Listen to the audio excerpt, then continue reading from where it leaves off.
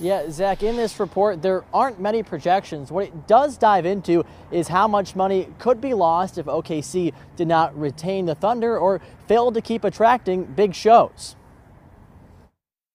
Last year, Oklahoma City's premier venue, the Paycom Center, saw 1.1 million people pass through these doors. That includes Thunder games, OKC Blue games, and other ticketed events like concerts and comedy shows. Researchers with an Arizona firm called Applied Economics found that with 114 events per year, the current arena and the Thunder have an annual economic impact of $513 million. The report says that creates nearly 2,500 jobs, generating $274 million in labor income every year. Another metric that was examined was how many people come into the city to attend events and games at the arena. From 2022 to 2023, 47 ticketed events were held, with a projected attendance of more than 489,000 people.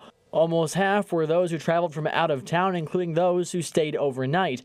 Add it all up, $45.5 million is spent by visitors and visiting teams. What's important to take away is that this report doesn't actually prove or claim a new venue is worth the $950 million price tag for the city, nor does it make projections about future revenue created by the venue. What it does contend is that a new venue would attract more shows and more people, generating more revenue.